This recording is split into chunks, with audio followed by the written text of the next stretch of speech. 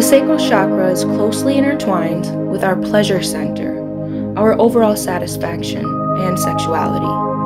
A blocked sacral chakra can also signify difficulties accepting new people or experiences into our lives.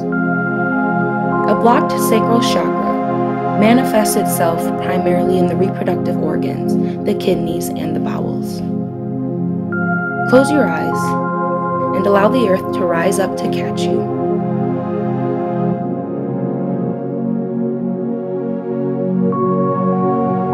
Feel yourself in the present moment and know that you are loved and supported.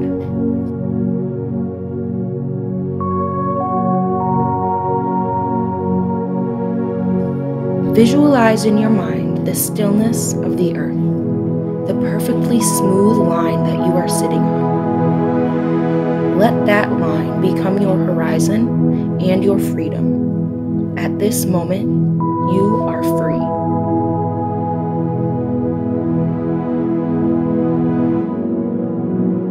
Slowly, with your eyes closed, begin to visualize a large orange below your navel, sweet or sour.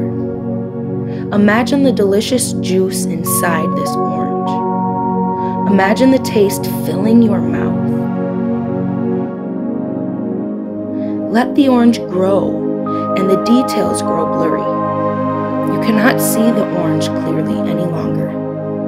Instead, you watch as the bright color slowly dissipates into an ocean, turning the light waves orange and bright like the sun. Watch as this ocean gently spreads out through your body. Feel the waves run down your thighs, into your calves, and all the way down to your toes. Watch as the gust of water rushes up your spine and begins to fill every inch of skin.